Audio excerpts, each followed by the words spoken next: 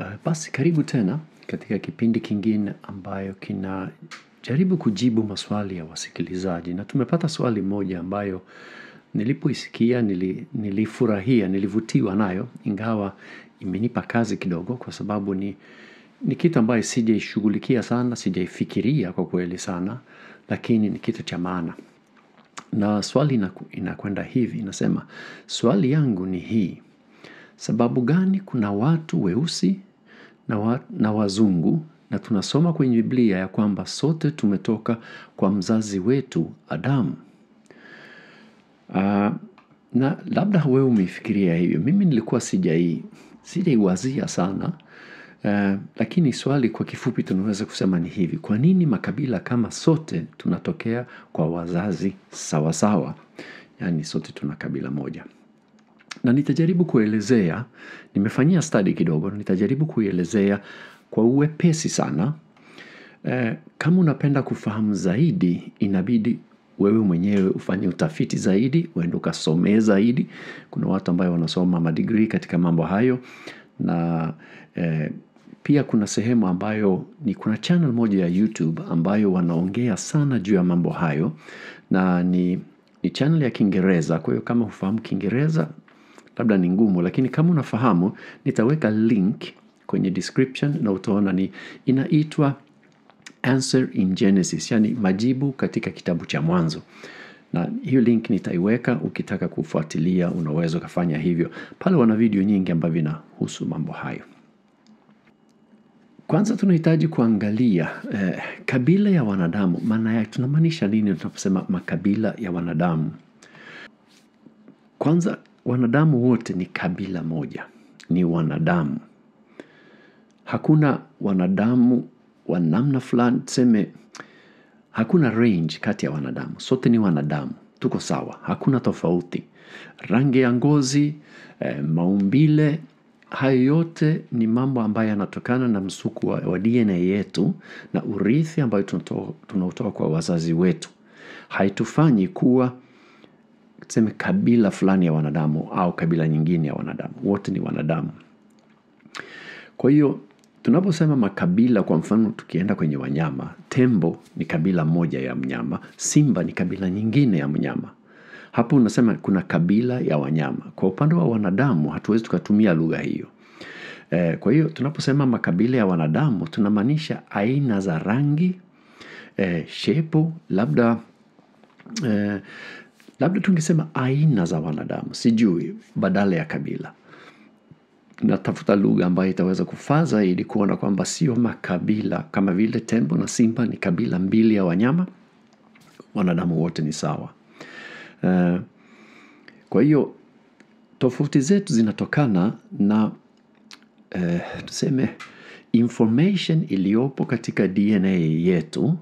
Na hapo sasa tunakwenda kwenye mambo ambayo kama hujasomea mambo hayo ni ngumu kuelewa kiundani. Lakini ndani yetu kuna tunaweza kusema kuna kama kitabu ambayo imeandikwa na ina, inatoa information jinsi wewe na mimi tulivyo kimaumbile kirangi nywele zetu yani kila kitu ndani ya mwili wako na mwili wangu.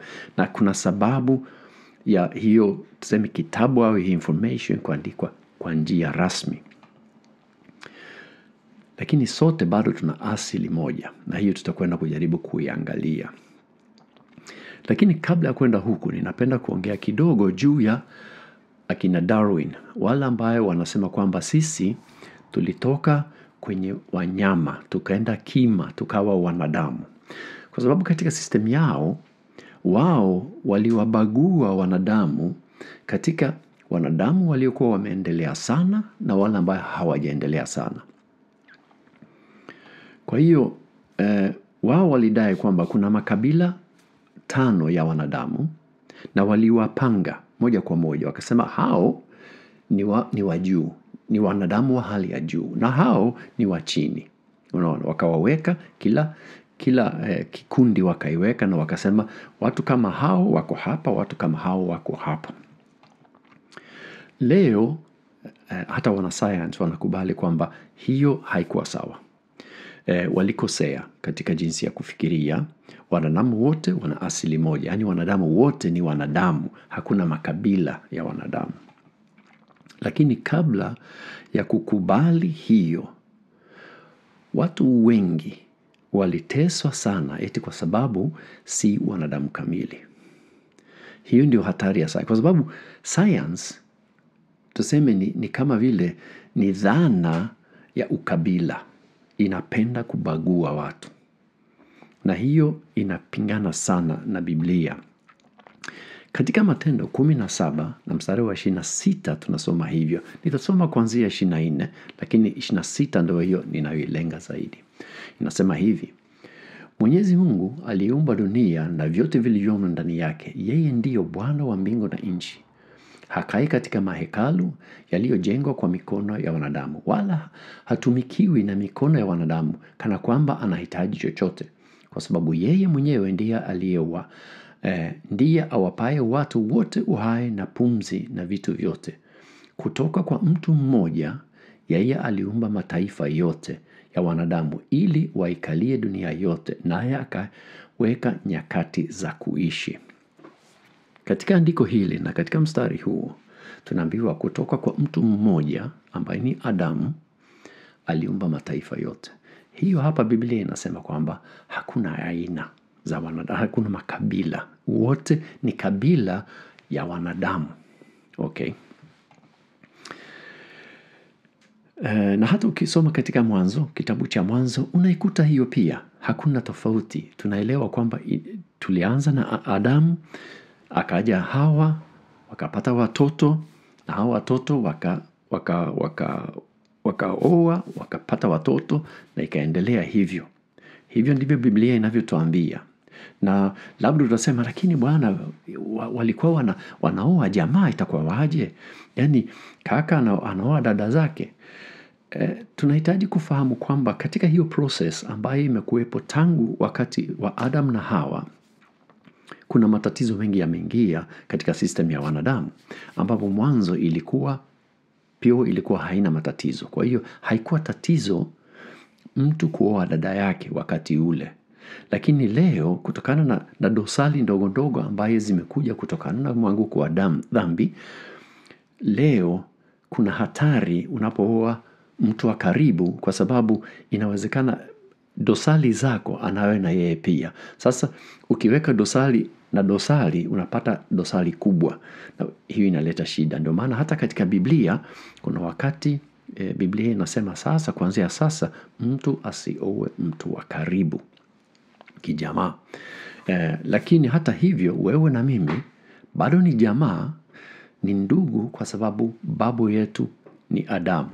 Na ndo sasa nitakwenda kujaribu kuelezea kwa urahisi sana, nitajaribu kufanya kirahisi eh, uweze kuelewa eh, kwa sababu kuna mambo mengi sana yanayosababisha mtu kufanana kama mimi na mtu kufanana kama wewe, lakini tutaangalia sasa hivi tutaangalia zaidi eh, rangi ya ngozi zetu kwa sababu ndio swali iliyotolewa. Kwa hiyo tutaangalia hiyo, lakini pia eh, tuseme maumbile ya pua, ya masikio, ya kichwa, yani kila kitu ina, inategemeana na, na urithi na di, msuku wa DNA. Kwa hiyo leo tunaangalia rangi ya ngozi na katika ngozi zetu kuna, kuna kitu fulani inaitwa melanini. Melanini ni kitu fulani ambayo inaleta hiyo rangi ambayo ni rangi ya kahawia.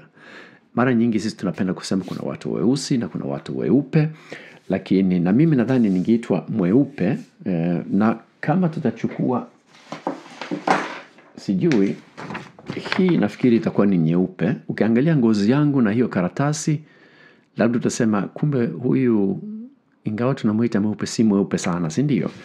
Ukiwa hivi inahitaji unahitaji kwenda hospitali. Na pia unaposema mtu mweusi, mara nyingi sio watu wengi ambayo wana, wanakuwa weusi kama hiki hapa. Hii nafikiri itakuwa ni nyeusi, bali wanakuwa na, na rangi ya kahawia. Na eh, tutakwenda kuiangalia hiyo zaidi, lakini eh, kwa kurahisisha, tunapojaribu kuangalia hiyo jambo yote tutatumia herufi. Herufi kubwa na herufi ndogo na tunatumia a na tunatumia b kama una a kubwa katika melanini yangu yako inabidi kwamba una melanini nyingi ambayo inakupa rangi ambayo ni, ni melanini iliyo eh, kolea pia kama unayo eh, B iliyo kubwa capital B, pia hiyo inaleta melanini au rangi iliyokolea sana. Kama unayo A ndogo na B ndogo, hiyo inaleta hiyo melanini kidogo. Okay? Na ninajaribu kuweka ni, utapata hizo picha pia hapa ninapoongea itakusaidia kuangalia. Kwa hiyo ukiangalia picha hii unaona kwamba kama mtu anayo A mbili kubwa na B e, mbili kubwa anapata ile rangi ambayo imekolea sana ambayo tunasema kwa Kiingereza itakuwa ni dark brown au kahawia iliyokolea.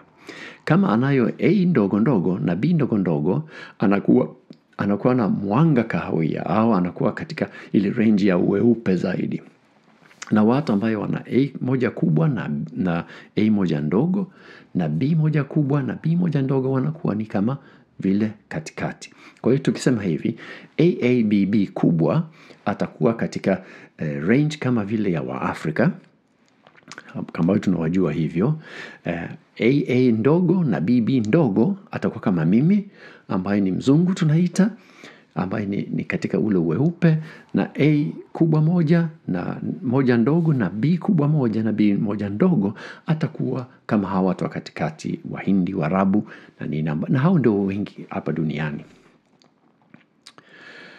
Uh, sasa kutokana na jinsi ulivyo na hiyo combination sasa ya A na B katika ngozi yako utapata ile rangi yako okay? Uh, na mchanganyiko ulio nayo utatokana na wazazi wako, yaani ni kitu ambayo una unarithi kutoka wazazi wako. Uh, kitu ni kwamba kama tuseme mzazi wako anayo A mbili kubwa na B mbili kubwa, si rahisi kukupa zile A ndogo ndogo na B ndogo ndogo. Anaweza ukawe, unaweza tu ukarithi ile ya mzazi wako, unaona. Kwa hiyo huwezi uka, ukapata kitu ambayo iko nje ya ile, sawa.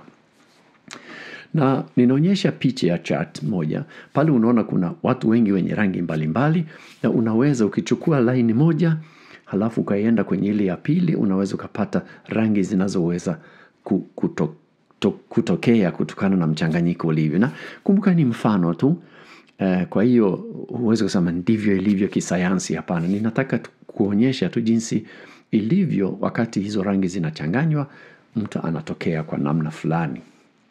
Kwa hiyo tunajaribu kufanya kwa urahisi, na hiyo ni sababu uh, kwamba kuna watu wa rangi mbalimbali wameweza kutokea kutokana na hiyo. Lakini ilianzaje? Lazima tuulize kama ni Adamu na Hawa, wao walikuwa na nini kama wangeweza kutupa huo rithi? E, Biblia inatufundisha kwamba wazazi wetu wa kwanza kabisa ni Adamu na Hawa.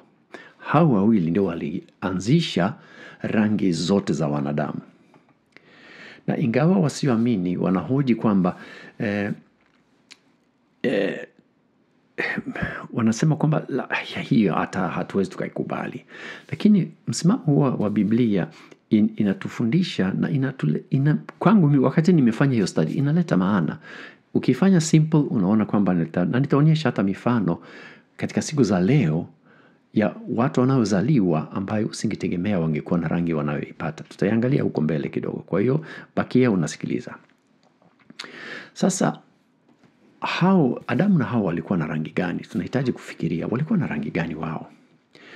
e, lakini swali muhimu zaidi kuuliza ni kwamba walikuwa na msingi gani ya kutoa kama urithi kwa watoto wao. Walikuwa na combination gani ya hizo A kubwa na B kubwa na A ndogo na B ndogo, kwa sababu kama wao walikuwa na, na A ndogo ndogo tu na B ndogo ndogo tu, wote wangekuwa kama mimi moja kwa moja, yaani wangekuwa katika tuseme shape ya wazungu. Lakini kama wangekuwa na zile herufi kubwa kubwa tu, wote wangekuwa kama vile kuelekea kwenye Afrika au kahawia iliyokolea. Lakini kama walikuwa kila mmoja, Adamu alikuwa na A moja kubwa na A moja ndogo, B moja kubwa na B moja ndogo, na Hawa vile vile alikuwa na hiyo hiyo combination. Watoto wao uwezekano upo kwamba waliweza kutoka wa ngozi ya kila aina ya rangi ambayo tunaipata. Okay? Inawezekana sana. Na hapo ninaonyesha pia picha. Utaweza kuangalia hizo picha na utaona hizo combinations zilizopo na utaweza kuona jinsi inavyokuwa. Kwa hiyo maumbile nyingi tofauti kutokana na msingi wa hiyo combination wao waliokuwa nao ya hiyo melanini. Okay? Kwa hiyo waliweza kupata watu eh, watoto ambayo wana rangi iliyokolea sana ya kahawia, wengine ambayo haijakolea sana, wengine ambayo imekolea kidogo na wengine ambayo ni kama hamna ingawa ipo. Sawa. Hiyo ni moja. Sasa tunajua kwamba rangi zinatoka wapi, lakini sasa inakuwaje? Kwa sababu ukiangalia dunia utakuta watu wenye rangi fulani tunajua asili yao ni sehemu fulani pia kijiografia. Na hiyo ni, ni, jambo la pili ambayo tunahitaji kuiangalia. Na jibu la Biblia ni katika mnara wa Babeli. Ukienda kwenye kitabu cha Mwanzo na sura ya kumi na moja utaweza kusoma juu ya mnara wa Babeli. Watu walikuwa wamekusanyika wame, wame wakasema kwamba ngoja tufanye kitu ambayo itadumisha eh, tuseme sifa zetu. Tujenge mnara mmoja ambayo itafika mpaka juu binguni Na eh, tuseme msingi wa mnara huo upo mpaka leo. Wamefanya, wamefanya utafiti, wamefanya machimbo na, na upo mpaka leo. Kwa hiyo, hiyo, hiyo ni kitu ambayo ipo na katika historia imejengwa na kubomolewa, imejengwa na kubomolewa, lakini ipo, mnara upo, msingi wake upo mpaka leo. Uh, na wakati Mungu aliona hiyo, akasema hapo sasa tunahitaji kufanya kitu. Na kwa sababu ni kama vile watu walikuwa wamekusanywa sehemu moja duniani pia, hawakusambaa kama ilivyokuwa imekusudiwa wakati amewaokoa ame kina Nuhu, Mungu alikusudia kwamba wa, wasambae wajaze dunia, lakini ilionekana kwamba bado wanapendelea maeneo fulani fulani.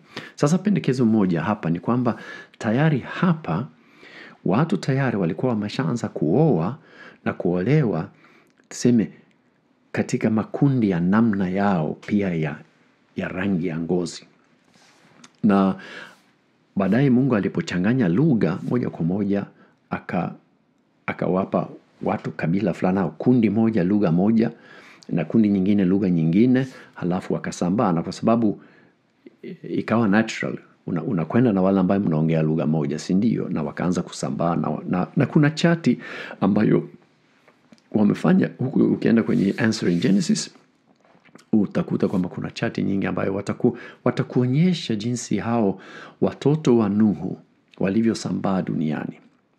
Kwa hiyo hii wamefanyia utafiti zaidi, lakini sio sehemu ya somo yetu hapa, kwa hiyo sitayaingilia sana. E, wanasayansi wanasema kwamba hapana, haikuwa hivyo. E, isipokuwa watu kutokana na walivyo e, toka katika wale wanyama hao kima waka, wakafanya na una, mara nyingi wanaposema ikawa kwamba wao waka wakachukua rangi fulani au waka, wakawa wana, wana evolve kwa njia fulani, mwisho wakawa kama jinsi walivyo.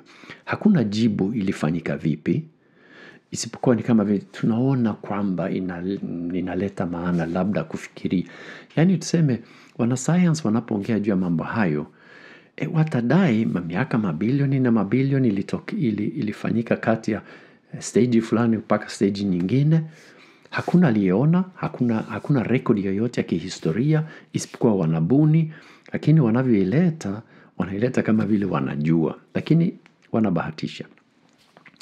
Kwa hiyo, eh, kwa hiyo wao wanaleta jibu nyingine, lakini mimi ninaona kwamba jinsi Biblia inavyoeleza na jinsi biology na rangi melamini ndani ya ngozi yetu inavyokuwa inaleta maana kufuatana na jinsi eh, maelezo ya Biblia yanavyokwenda. Kwa hiyo inaleta maana zaidi kwangu kuona kwamba watu walisambaa kutoka ile ule mnara wa Babeli wakaenda sehemu mbalimbali kukaa sehemu mbalimbali, na unajua watu wakadhiri wanavyoongezeka wanasambaa zaidi na wanasambaa zaidi, na si ajabu kuona kwamba watu walipendelea kuanza familia na watu ambayo walikuwa wakifanana. Kwa sababu hiyo katika hiyo process ya kuzaana utakuta kuna watu wa aina fulani wakawa wengi. Na mimi nakumbuka kuna siku moja niliongea na rafiki yangu moja Mtanzania na tuliongea tulikuwa vijana tuliongea juu ya ya watu ambayo wanatupendeza. Na yeye aliniambia mimi unajua sivutiwi na wazungu hata kidogo. Ehe, okay. Anavutiwa zaidi na watu ambayo wanafanana naye. Na hiyo ni kawaida, ni kawaida nadhani, ukiangalia mara nyingi utakuta watu wa kabila fulani au wa aina fulani, tukitumia lugha hiyo, mara nyingi wana wanakutana na wanafunga ndoa kwa pamoja. Ingawa siku hizi watu wanachanganya pia na imekuwa kawaida zaidi kutokana na kwamba watu wa kabila mbalimbali au aina mbalimbali ya watu wanaishi pamoja. Kwa hiyo mapenzi yanakuwepo kati ya watu wa aina mbalimbali na leo hatushtuki sana ambapo kama ungerudi nyumba sana katika historia ungeshtuka kweli. Kwa hiyo leo tunaona kwamba mabadiliko yanaanza kutokea kwa sababu watu wamezoea kwamba wote ni wanadamu. Tunaanza kuzoea na tunaanza kuiona hiyo kwa hiyo utakuta mtu ambayo ana rangi moja ana anafunga ndoa na mwingine mwenye rangi nyingine na wanapata watoto. Samahani. Kwa hiyo hiyo leo ni kama kitu cha kawaida sana. uh, Katika picha hiyo ambayo unaiona sasa ni ni wazazi wawili wamepata watoto na ni mapacha hawa watoto. Ukiangalia unaona kwamba rangi za hawa watoto picha picha ya watoto kuna picha mbili eh, ni hawa hawa watoto mmoja ni wakati ni wadogo na baadaye wakati wamekuwa kidogo na wamepata rangi hiyo kutokana na urithi wa hizi melamini katika ngozi yao.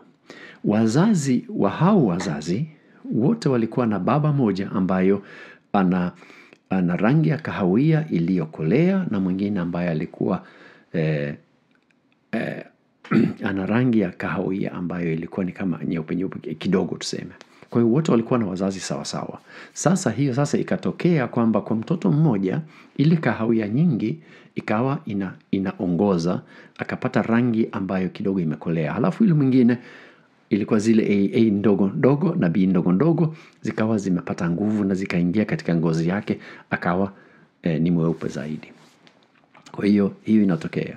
Ni baba mmoja na mama mmoja lakini mchanganyiko wa, wa rangi ikawa watoto wao yani ukimwona yani utasema labda si mmoja wao labda si watoto wao. Yule mwingine ambaye ana rangi ya kahawia iliyokolea tusema yeye kidogo anafaa lakini yule mwingine tuseme huyu sijui alitokea tokea wapi. Na hi, huu ni mfano mmoja inatokea mara nyingi kitu kama hiyo eh, ndani ya familia kutokana na jinsi zile rangi zinavyochanganywa ndani ya ngozi ya mtu. Kwa hiyo ukiangalia hawa watoto wawili utakuta mmoja labda ningesema kwamba ana A mbili kubwa na B mbili ndogo ambapo yule wa pili eh, herufi zake zote ni zile ndogo ndogo ni AA na BB ndogo ndogo. Kwa hiyo kitu kama hiyo. Ok, kama nilivyosema, jibu langu najaribu kulitoa kwa uwepesi na sababu ni mbili.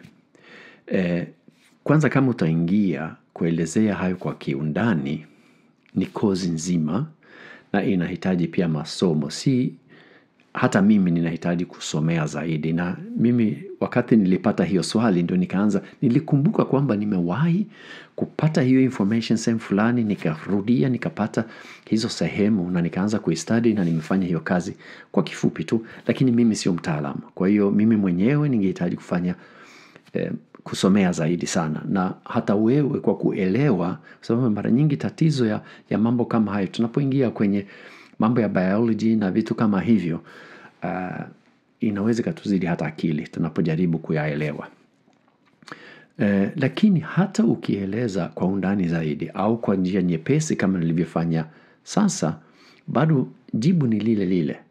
Kwa hiyo unaweza ukaelezea kwa njia hiyo, ukaielewa, ukaipata. Sasa kama unataka kujua zaidi kiundani, nenda kasomee. Hiyo itakusaidia na utafahamu zaidi, lakini kwa kifupi ni hivyo. Kwa hiyo kipindi hiki naona imekuwa ndefu kidogo, lakini pia nime jamani, hata hivyo nimejaribu kufupisha, ingekuwa ndefu ajabu. Kwa hiyo mimi na na kuomba endelea kuleta maswali eh, na nitajaribu kuyajibu. Sisemi kwamba nitaweza kujibu kila swali, lakini nitajaribu, na kama nikishindwa nitakuambia nimeshindwa. e, pia toa komenti zako kwa video hizi ambaye ninazi ninazitoa. Nimetoa sasa hivi ni video ya tatu nafikiri ambayo inatoa juu ya maswali ya watu hmm, tatu nne tano sijui zimekuwa zinaanza kuwa nyingi. e, toa komenti zako Tuna, unaona kwamba ninayoyasema yanaleta maana au unaona kwamba hayo bwana ni upuuzi mtupu wewe leta tupate maongezi pia katika comment section. Hiyo ni nzuri sana. Leta, leta mawazo yako. Hakuna tatizo yoyote. Wewe unaweza ukaleta hoja yoyote ile ambayo unaiona na watu wataweza kuiona halafu kutakuwepo discussion. Usi, usidhani kwamba kama unaleta hoja mimi nitakukanusha sihitaji kufanya hivyo. Katika video hizo tunataka ule mjadala uwepo.